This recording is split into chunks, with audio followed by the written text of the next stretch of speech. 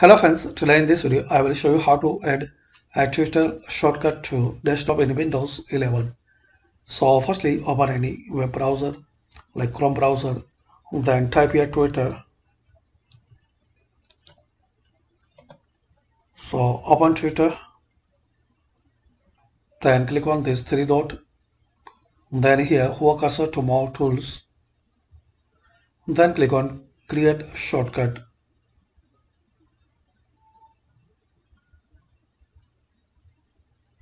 now here give this shortcut name like Twitter then click on open as window if you like or leave as empty then click on create.